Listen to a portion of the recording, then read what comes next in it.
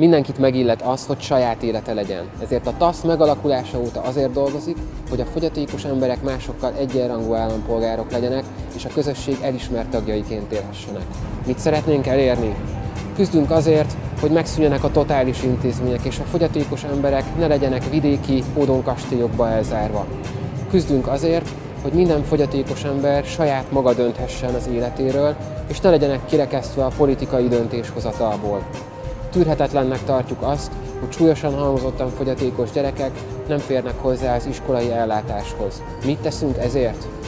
Ingyenes jogi képviseletet és jogi tanácsadást nyújtunk fogyatékos embereknek.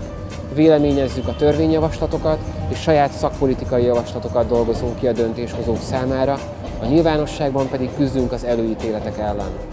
És te mit teszel mindezért?